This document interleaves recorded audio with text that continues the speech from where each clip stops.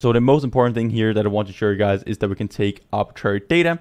could be images, point clouds, audio, text, whatever, and then just throw it into a model, tokenize the input, throw it into a large transform model, and then we can apply hit on top of that for classification, point cloud classification, segmentation, image segmentation, audio classification, and all those different kind of tasks.